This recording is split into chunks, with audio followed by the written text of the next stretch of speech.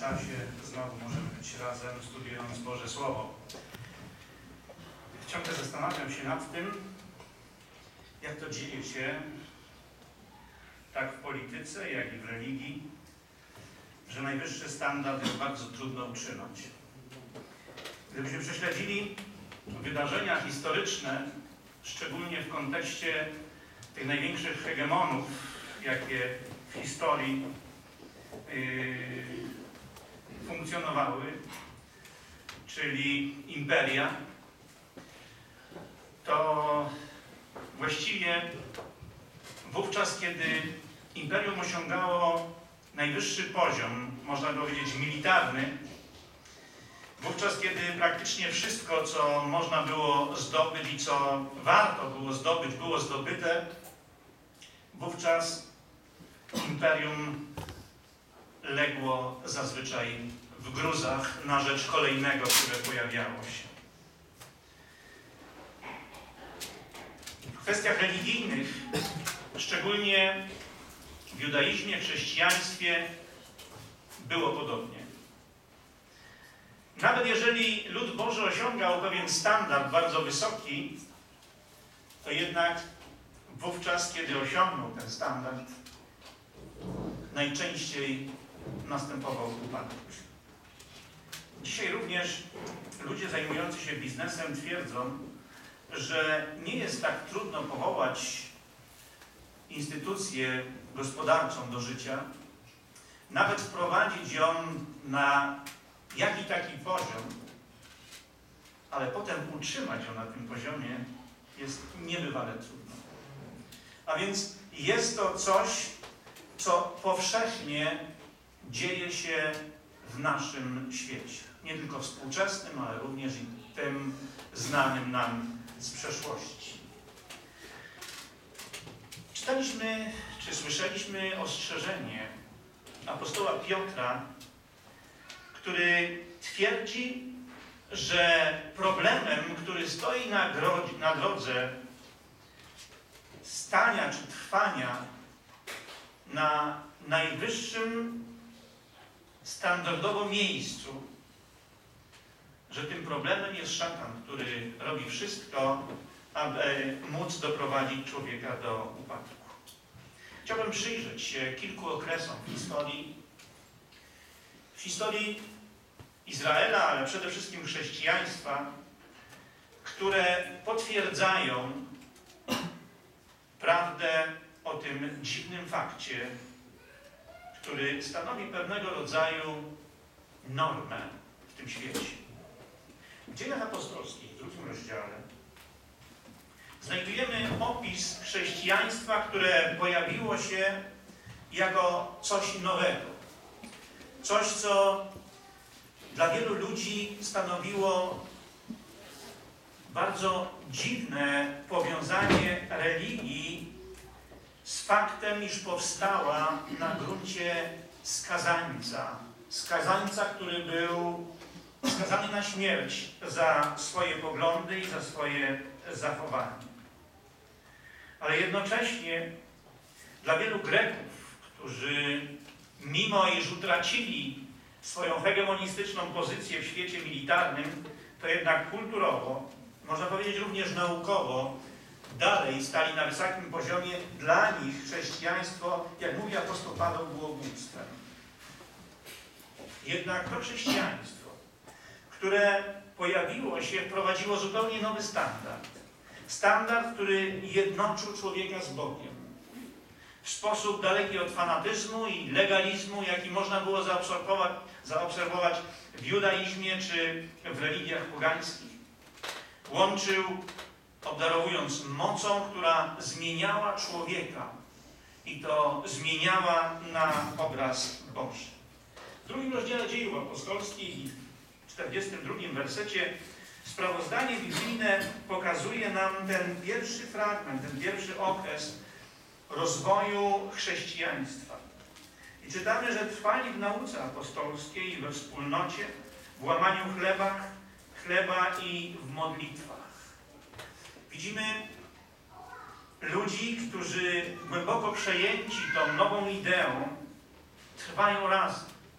Wspólnota była podstawą realizowania celów, nawet tych jednostkowych, które miały doprowadzać człowieka do Boga. To jest historia, która lubi się powtarzać. 18 wieków później stało się coś, o czym pisał prorok Daniel w ostatnim rozdziale swojej księgi. Pisał w sposób, który pokazuje nam jednoznacznie, jak ważną rzeczą jest roztropność. Roztropność, która prowadzi do poznania Boga. W 12 rozdziale i 10 wierszu Księgi Daniela czytamy, że wielu będzie oczyszczonych, wybielonych, wypławionych, lecz bezbożni będą postępować bezbożnie. Żaden bezbożny nie będzie miał poznania, lecz roztropni będą mieli poznanie. Jest tu mowa w kontekście tego, co miało wydarzyć się pod koniec historii tej ziemi. Jest tu mowa o tym, co miało wydarzyć się wówczas, kiedy spełni się proroctwo z dziewiątego rozdziału tejże księgi. A więc mowa na temat powstania adwentyzmu w połowie XIX wieku. To właśnie w adwentyzmie był pewnego rodzaju idealizm, o którym nie śniło się nawet reformatorom, który oświecił świat poselstwem prawdy. Tej prawdy, o której mówi nam prorok Daniel, że mogła być osiągana jedynie poprzez roztropnych, bowiem oni będą mieli poznanie. Adwentyzm doprowadził ludzi wyżej niż byli kiedykolwiek.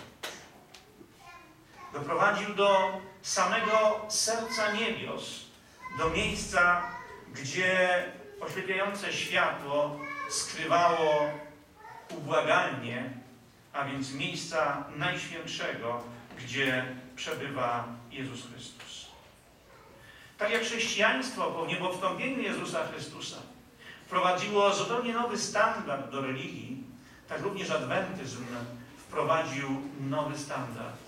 Ten standard, który ciągle, co prawda, ten sam, jednak w odczuciu ludzi, którzy głęboko zakorzenieni byli w fanatyzmie religijnym, którzy głęboko zakorzenieni byli w tradycji, która zupełnie nie miała nic wspólnego z tym chrześcijaństwem pierwotnym, dostrzegali w adwentyzmie z jednej strony nadzieję i oni wstępowali w szeregi tych, którzy rozpoczęli to swoje dzieło, właściwie Boże dzieło, ale także wrogość w tych, którzy byli temu dziełu przeciwni. Kiedy czytamy o wydarzeniach z początku wieku, jak i również czytamy o wydarzeniach z połowy XIX, czy właściwie pod koniec już XIX wieku, zauważamy, że ten wysoki standard, to wysokie moralne znaczenie adwentyzmu czy chrześcijaństwa na samym początku zostało zachwiane poprzez postawy i poglądy pewnych ludzi mających wpływ mających wpływ na, jak my to często mówimy, szarych, zwykłych członków Kościoła. To zadziwiające, że w tak krótkim czasie, w przypadku adwentyzmu niecałych 50 lat, a w przypadku tego pierwotnego chrześcijaństwa w przeciągu około 30 lat, stał się powodem, który zaniepokoił nie tylko apostołów, ale z całą pewnością tych, którzy przejmowali się Bożymi obietnicami, które bardzo często były dawane warunkowo. Kiedy otwieramy objawienie świętego Jana, znajdujemy tam pewien fragment, który jest opisem tej sytuacji, o której mówię. W objawieniu świętego Jana w drugim rozdziale i w drugim wierszu znajdujemy fragment z listu do zboru Efezie, a więc z listu do pierwszego zboru, tego, który rozpoczął funkcjonowanie chrześcijaństwa w świecie. I chociaż bardzo często upatrujemy w nim tej Bożej aprobaty i jednocześnie akceptacji, z pominięciem tej pierwszej miłości, która gdzieś zatracona została, to jednak znajduje się w nim również coś, co nie może budzić optymizmu. W drugim wersie czytam: Znam uczynki Twojej trud i wytrwałość Twoją i wiem, że nie możesz cierpieć złych i że doświadczyłeś tych, którzy podają się za apostołów, a nimi nie są i stwierdziłeś, że są kłamcami.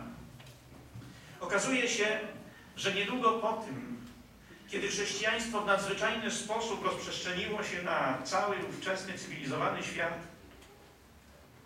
dzięki niesamowitej determinacji apostołów, ale przede wszystkim dzięki działaniu Ducha Świętego, to chrześcijaństwo, kiedy zaczęło tworzyć swoje struktury organizacyjne, po pewnym czasie zaczęło schodzić z tej drogi prowadzącej do najwyższego standardu. Czytamy, że oprócz tego trudu, który jest doceniany przez Pana Boga i wytrwałości, Bóg widział również i to, że pojawiali się źli, a więc ci, którzy wypaczali Ewangelię i że zostali zdemaskowani przez ludzi wiernych Bogu. Popatrzmy na ten drugi wers. Po pierwsze, byli to ludzie nazwani ogólnie złymi. Kiedy mówimy o złych ludziach, najczęściej mówimy to w kontekście łamania przykazań Bożych.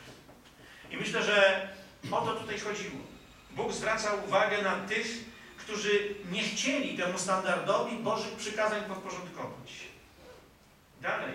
Jest powiedziane, że można było doświadczyć tych, którzy podają się za apostołów. Jednoznacznie z tego rozumiem, że nie chodziło o tych apostołów, którzy chodzili z Jezusem Chrystusem, ale chodziło o apostołów, którzy sami sobie usiłowali nadać taki tytuł. Nie tylko, że podawali się za apostołów, ale w istocie, jak mówi dalszy fragment tego wiersza, nimi nie byli. Więcej. Byli to ludzie, którzy zostali tutaj nazwani kłamcami. A więc ludzie, którzy nie mówili prawdy. Jeżeli taki obraz miał pokazać nam ten najbardziej budujący fragment okresu chrześcijaństwa, to rzeczywiście nie możemy być dumni z tego, że tak właśnie było. Ciekawą rzeczą jest, że to, co zdarzyło się właśnie niewiele po tym, kiedy chrześcijaństwo rozprzestrzeniło się na świecie, że powodem pewnego rodzaju rozłamu czy wprowadzenia nowych standardów byli ci, którzy usiłowali być przywódcami.